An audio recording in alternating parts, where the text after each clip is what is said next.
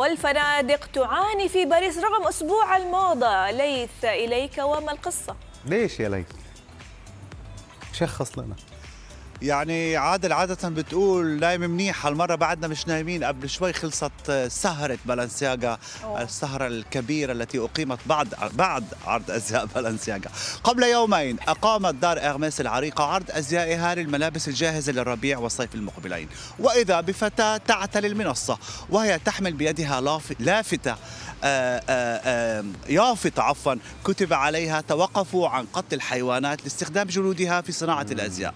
والغريب والصادم أنه كيف تم دخول هذه السيدة أو هذه الفتاة إلى أيوة. عرض الأزياء وكيف أخفت اليافطة وكيف استطاعت أن تعتري المنصة أثناء العرض وتسير بين العارضات أما الاقتصاد الفرنسي يا ريم وأسبوع الأزياء الباريسي فسجلت الفنادق هذا الموسم أدنى مستوى حجوزات الغرف الفندقية ليش؟ منذ سنوات ليش؟ والسبب عدم قدوم الكثير من عالم صناعة الأزياء وزبائنه وقد يكون السبب لتغيبهم السرقات التي بالضبط. ازدادت في شوارع العاصمة الفرنسية في الفترة الأخيرة. تخيلوا يعني الناس صاروا يخافوا من السرقة بفضلوا ما يجوا بتابعوا أونلاين أكيد أثر طبعا على السياحة وعلى وجود المهرجان وأسبوع اليوم- الماضي أكيد يأثر كثير اليوم الموضوع اليوم ده. ريم شخصنتها مع آيفون ومع باريس. لا لا بس هذا طيب. واقع.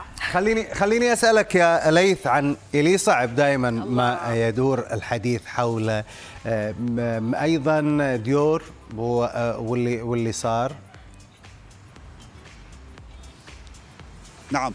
خلينا نحكي في البداية عادل وريم عن فنانو عالم الأزياء أو كيف؟ عالم الفن الذين آه، أصبحوا يتزاحمون لحضور عروض الأزياء ولكن فنانين القرن الماضي هذه المرة يعودون إلى ساحة الأزياء. شاهدنا المغنية الأمريكية تشير التي تبلغ من العمر 77 عاما الله. في عرض فاليري ميسيكا للمجوهرات الذي افتتحته زوجة الرئيس الفرنسي السابق نيكولا ساركوزي أي عارضة الأزياء والمغنية الفرنسية كارلا بروني وعربيا حضرت عرض فاليري ميسيكا الفنانة اللبنانية الأنيقة والشابة ها مايا دياب. وفي عرض بالنسياغا حضر كل من باريس هيلتون والمغني الشهير إيشير الذي ارتدى قناعا على غرار كاني ويست في عروض بالنسياغا للمواسم السابقة.